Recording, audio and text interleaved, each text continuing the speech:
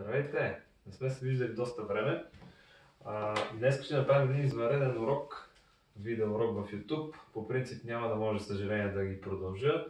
По-нататък, ако остане време, ще ги продължа, разбира се, но сега по едни извънредни причини, там липса на интернет, няма да може да се свържем в Teams. Заради това ще ви направя този а, запис и той ще бъде конкретно на тези уроци, които трябва да се показват неща, свързани с а, посоки, направления, които е малко трудно да се направят директно по Teams. Не, че е невъзможно, в някои класове вече го а, показахме това нещо, не е толкова трудно. Но днес ще говорим за магнитното поле, най-вече за правилата на дясната ръка, тези на свитите пръсти и тези на изпълнатите пръсти. Има два вида такива правила и за какво те се ползват. Но за това след малко нека първо да припомним какво беше магнитно поле, от какво се излъчваше.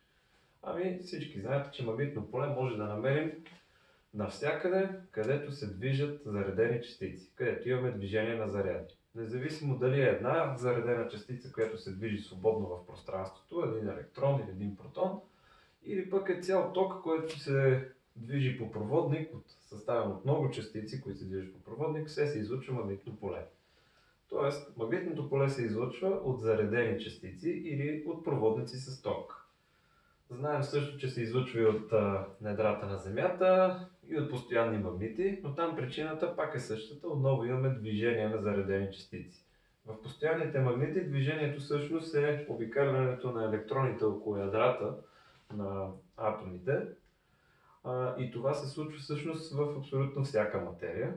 Само, че материята е съставена от много електрони и те се движат във всякакви а, направления, въпреки че ако трябва да сме точни, те не се движат в едно направление, те са вълни, но за това по-нататък малко ще говорим. Но накратко, всеки един електрон излъчва някакво много малко магнитно поленце. Но то може да бъде с произволна посока. И това, когато го насложим на трилиони частици, от които е изградена материята на ръката ми, да речем, тия всичките малки поленца се насочват на всякакви посоки и резултатът е нула. Но в феромагнитните вещества, като желязо, никел, кобалт, разни сплави, като неодим и така нататък, при тях може да се а, случи един такъв синхрон между отделните електрони, да излъчват да се въртят всички в такт, в фаза, в синхрон и по този начин техните малки магнитни поленца да се излъчат навън. Това вече го говорихме също. А, в Земята пък има движение на заредени частици също, което показва, което създава такова магнитно поле. Но за това говорихме предния път, сега да се спреме повече на това как се излъчва това магнитно поле в пространството, когато тече някъде ток или как влияе това магнитно поле на други заредени частици. А, както говорихме, който говори френски, той разбира френски. Тоест нещата, които излъчват магнитно поле, могат и да усещат в кавички магнитно поле, т.е. могат да възприемат, да бъде, им бъде повлияно чрез магнитно поле. Именно това са нещата, които са електрически заредени и се движат. Всяко тяло, което има заряди в себе си те се движат, е източник и приемник на магнитно поле. Така, да се спрем сега на източниците. Да видим как изглежда магнитното поле на един ток. Като под ток визирам не само движението на една частица някъде в пространството, ами също движението на много частици по проводник. За по-лесно казваме, че имаме движение на частици по проводник. Имате тук една жица, ето така, и по нея има ток, който е насочен така надясно. Тока се отбелязва с И. Как се прави, какво е правилото, по което може да разберем посоката на магнитната индукция? Ами, правилото е на свитите пръсти. Вече сте го чули по някои от специалните предмети, там на електротехники, градивни елементи и така нататък. В пъгата, като знаеме, учим такива неща. Та, посоката на тока се показва с палеца. Винаги палеца показва посоката на тока. Ако беше една частица, която се движи, айде тук с друг цвят да го направим, Примерно имате а, някакъв протон P+, е така.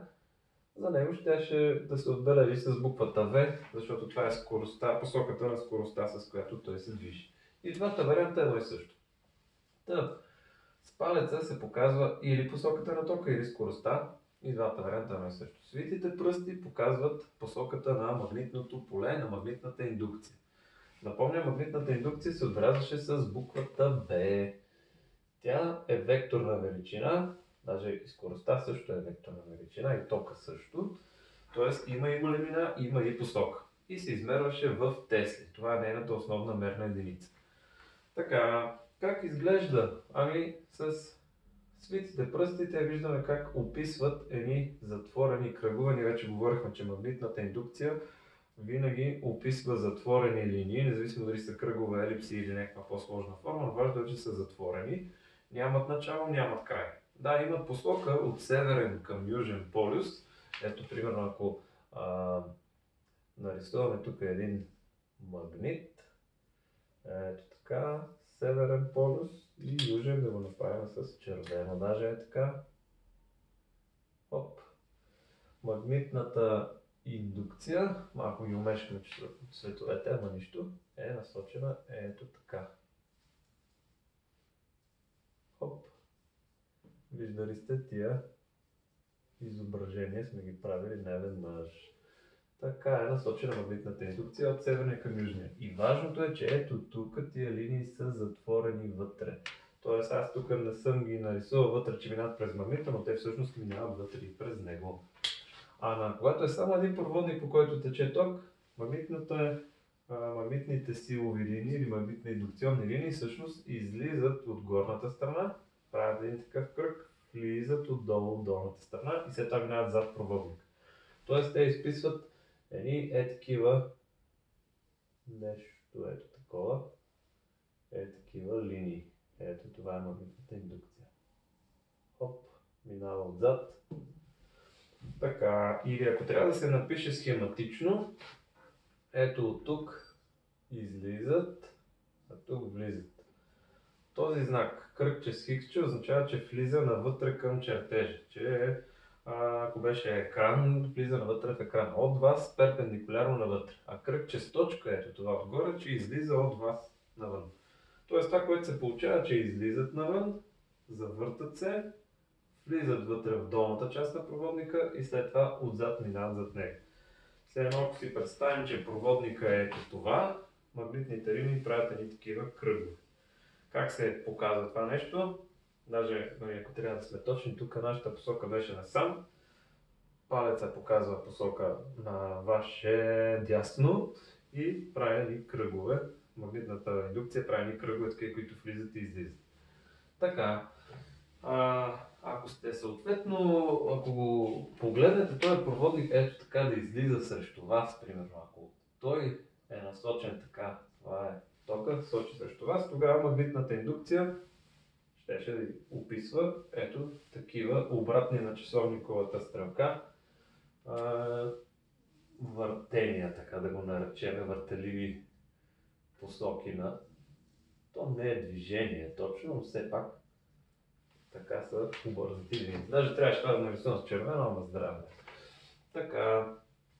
И винаги трябва да ползвате дясната ръка за това правило. И за другото също. Ако използвате лявата ръка, просто помнете, че нещата са точно наопаки. Ако сте левичари поради някаква причина, искате да ползвате с лява ръка правилото, тогава трябва всичко да бъде точно наопаки, не забравяйте. Иначе винаги само с дясна ръка. Ако са два проводника и за двата с дясна ръка, трябва да сравнявате. Другото особено нещо, разбира се, ако искате да има по-силно магнитно поле да се излучва от този проводник, то трябва да има по-голям ток вътре по него.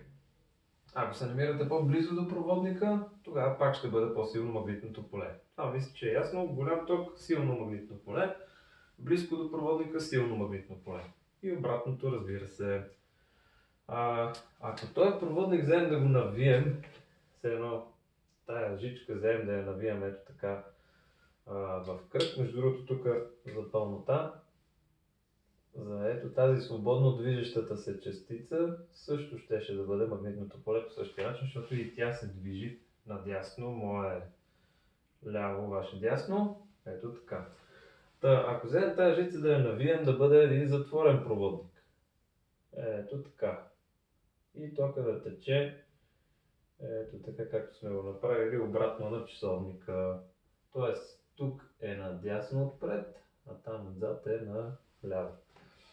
Така, едно върти се по този начин, виждате.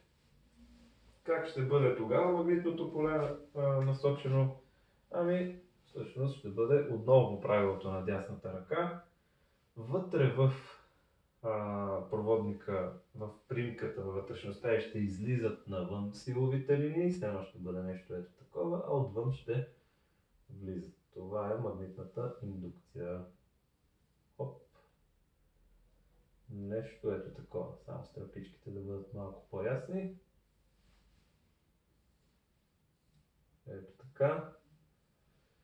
Излиза навън тази магнитна индукция, прави тия кръгове и отдолу влиза.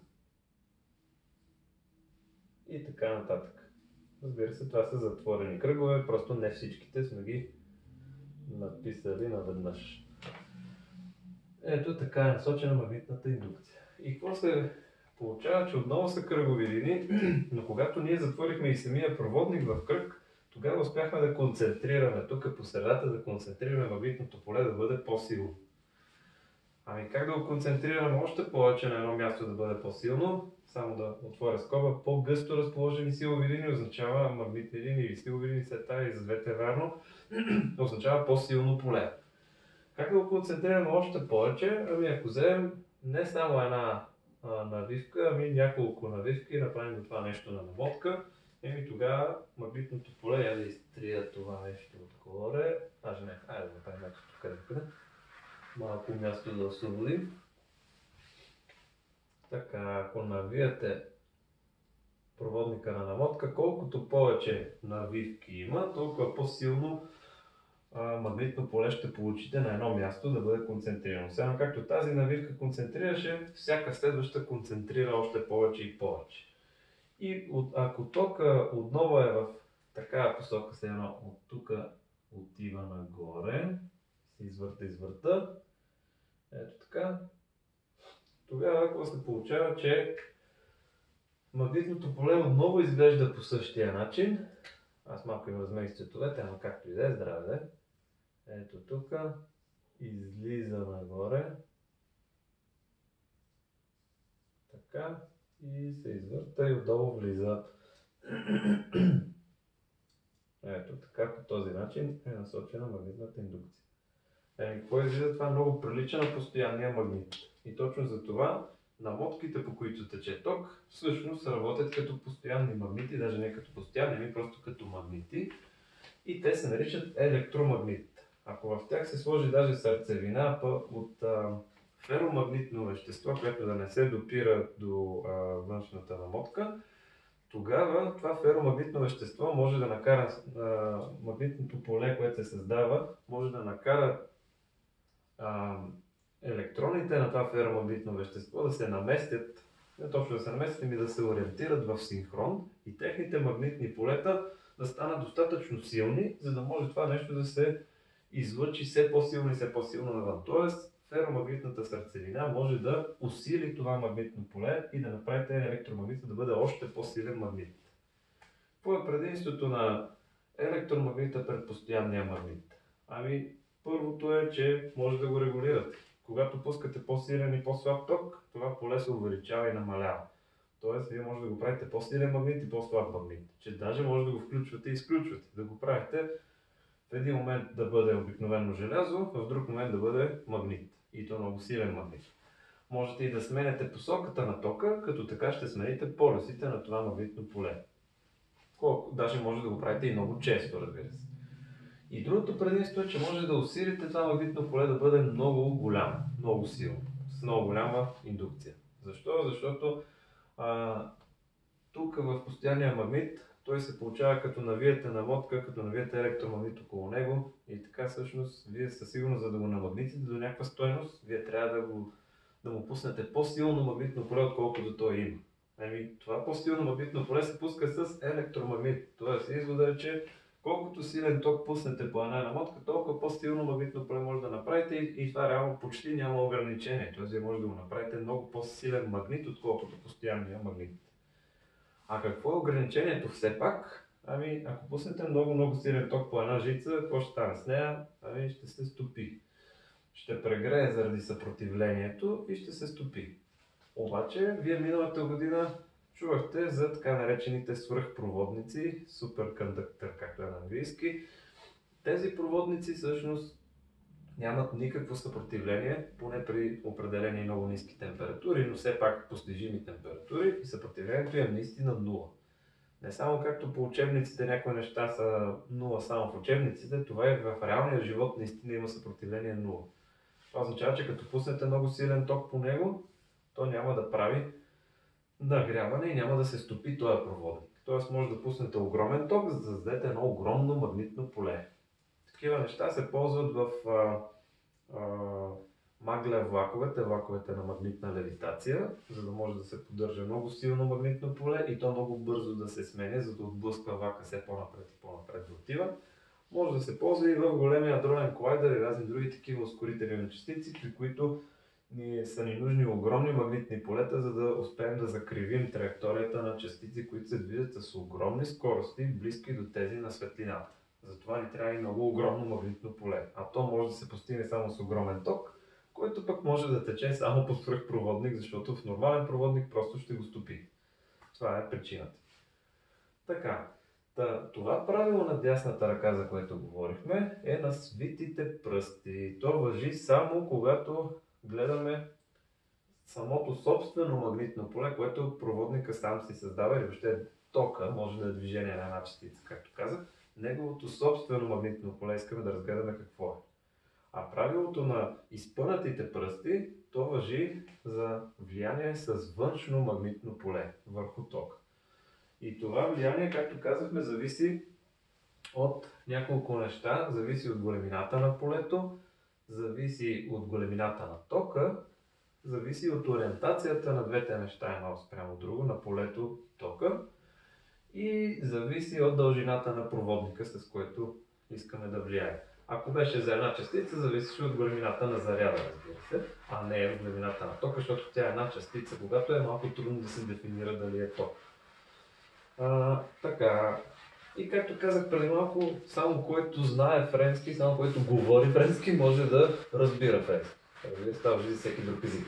Тоест, само нещата, които могат да участват в магнитно взаимодействие, които разбират тази комуникация, само те могат да я излъчват и съответно само те могат да я приемат.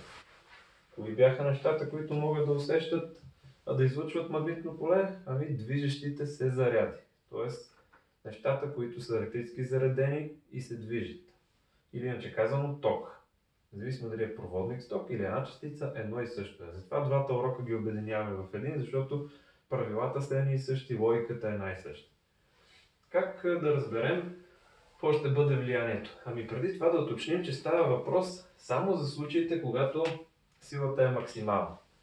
А, именно казано, когато са перпендикулярни посоката на движението на частиците, скоростта или съответно тока, дали ще кажете скорост или тока е едно и също, с магнитната индукция. Когато те са перпендикулярни, тогава силата е максимална.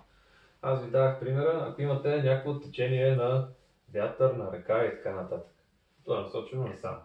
Ако вие сложите нещо, което е ето така успоредно на течението, резултата ще бъде 0. Но ако сложите нещо, което е перпендикулярно на течението, ето така примерно, тогава резултата ще бъде макс. Защо? Защото на него ще му повлияете много силно с това течение. Даже айде да го направим дълго това нещо. Е така. А, все едно, ако сложите едно платно, искате да се возите с платноходка, ако сложите перпендикулярно на вятъра, много по-силно ще го бутне, отколкото ако сложите успоредно на вятъра. Ако е точно успоредно на вятъра, няма въобще да подейства. И заради това в учебника се говори само за тия перпендикулярните случаи, защото само тогава силата ще бъде максимално голяма. Може и да е нещо под ъгъл, но тогава вариантът ще бъде среден. Нито ще е 0, нито ще е максимално. В учебника го игнорира това нещо, защото е малко по-трудно, въпреки че не е много трудно. Тоест, ако ние повлияем чрез външно магнитно поле на някаква, айде да кажем, че това е магнитна индукция, възприемете, че магнитната индукция полето, магнитното е нещо като течение. Ако ние искаме да повлияем на нещо чрез външно магнитно поле, то искаме да получи някаква сила от това магнитно поле, от какво зависи проводника, по който, нали, смисъл, сложили сме проводник с ток. Той може да усеща външно магнитно поле. Не неговото, ами външно. Ако искаме да повлияем, тогава трябва да имаме голямо магнитно поле, голям ток да тече по проводника и да бъде а, дълъг този проводник. Тоест, B е магнитна индукция и е тока, L е дължината на проводника. Ако проводника, по който тече тока, има голям ток, тогава той по-лесно ще усети външното магнитно поле. Ако външното магнитно поле е силно, тогава много ясно, че по-лесно ще го усети. Ако е по-дълъг проводника, с имате по-дълга антена, по-лесно ще приемете и ще усетите това магнитно поле. И затова в учебника е написано, между другото, тук е Fmax, защото това въжи само за този случай, когато са перпендикулярни.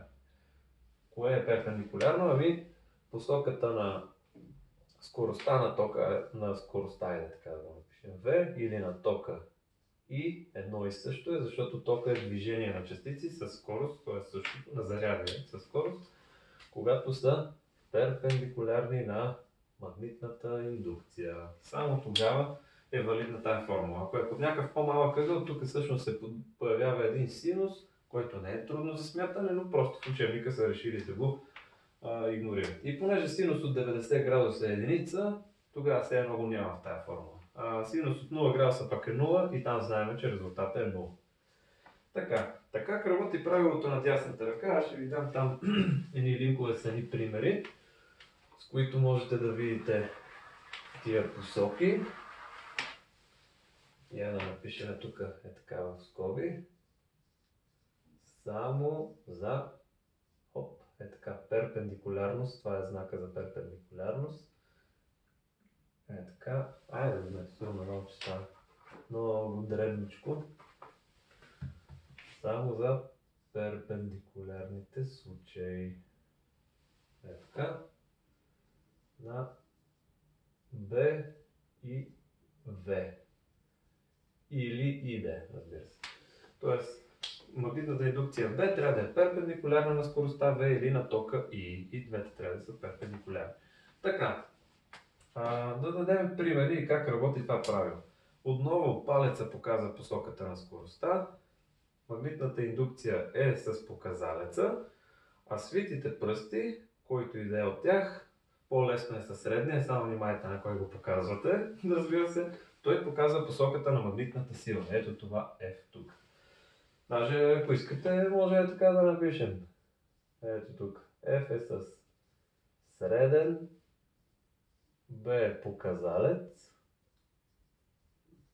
залец, така, а тока И е с палец.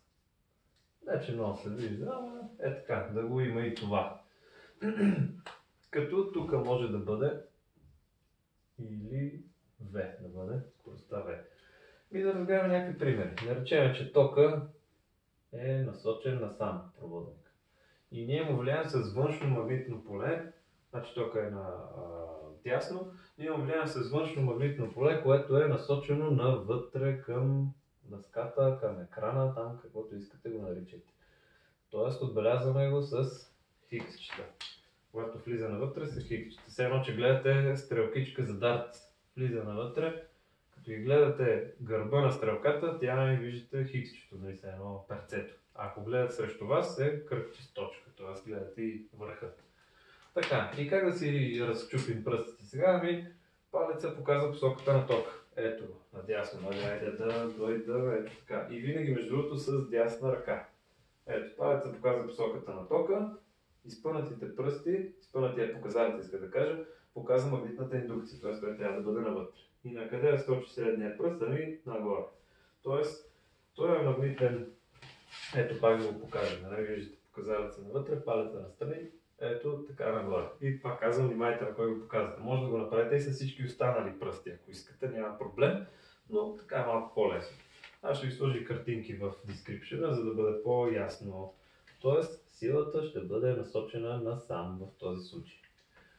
Айде, измислим друг вариант. А, примерно, ето, насам е насочен тока надолу а магнитната индукция, да кажем, че а, излиза от дъската навън.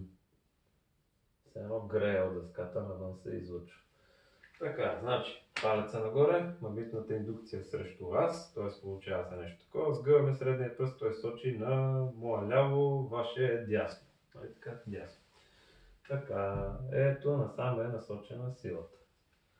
Айде още един вариант. Примерно, тока е насочен насам, магнитната индукция е насочена тока е наляво, магнитната, тока е надясно, магнитната индукция е наляво. Ами в този вариант, как да се щупим пръстите, не можем. Защо? Заради е това с течението. Ако е перпендикулярно, само тогава действа. Ако са успоредни, обаче не може магнитното поле да подейства. Тоест, тук F е равно на 0. Е, много грозно стана. Такива задачи доста често се слагат по матури, по контролна и с уловка, да се досетите за това свойство, че когато тока е успореден на магнитното поле, тогава резултатът е 0. И същото въжи, както казах, ако беше скорост на една частица, а не цял провод. Айде да го направим с една частица. А, примерно имате един протон положително зареден, който се движи, айде да кажем, че се движи нагоре, само това да го изтрия тук. Така. Скоростта му е нагоре. Магнитната индукция слагаме да е на ляво. Ето, перпендикулярни са, значи може да действат нещата. Пръстите, показалеца сочи наляво. Индукцията, а, скоростта, палеца сочи нагоре. Ами на къде сочи средния пръст? Навън, срещу вас. Значи, ето така, насам ще бъде насочена силата F навън. Така, и последно да усложним още малко нещата. Тия неща са валидни само когато говорим за проводник, по който тече ток или само когато частицата, която се движи самостоятелно, е положително заредена. Ако това беше електрон, ето тук в тази същата ситуация, да кажем, че това беше E-, нещата са точно наопаки. Ако той си се движи електрона в същата посока, както и протона се движеше, в същото поле магнитно, което е насочено на ляво, резултата какъв щеше да бъде? Палеца нагоре, показалеца напред. Би трябвало да е навън срещу вас, но понеже е електрон, нещата са точно наопаки. Ще бъде навътре към екрана. Тоест, ето на така ще бъде насочена магнитната сила в случая на електрон. Има два варианта да го разбирате това, когато е отрицателна частица. Айде само да напишеме. Само за минус. Слагам три удивителни. Така, има два варианта. Или да си правите с дясната ръка, както се прави винаги с дясна подчертавам, и казвате накрая резултата да е наобратно. Ако се е получило ляво, казвате дясно. Ако се е получило горе, казвате долу. Ако е било навътре, става навън. Или другия вариант е да ползвате лявата ръка, при която нещата са винаги наопаки. Еми, как ще стане? Ето, скоростта V нагоре, магнитната индукция на ляво с показалеца и средния пръст ще сочи, както виждате, навътре, както си е по условие. Но това с лява ръка. С дясна, вижте какво се получава, излиза навън, с лява влиза навън влиза навътре. Тоест, с лявата е за отрицателни частици, с дясната е за положителни частици. Или ползвате винаги дясната, но за отрицателни частици го правите наопаки. Въпрос на вкус, въпрос на избор. Така, еми общо взето, това е за днеска. Има и други неща, които после ще да обсъдим, но това е най-важното, есенцията, която трябваше да разгледаме. Ако имате въпроси, разбира се, пишете, ще има линкове в дескрипшена, следете и учебника, и плана на урока и всичко ще бъде точно. Така че, до скоро, пожелавам ви всичко, една успешна седмица, усмихната и всичко да ви бъде точно. Чао, чао!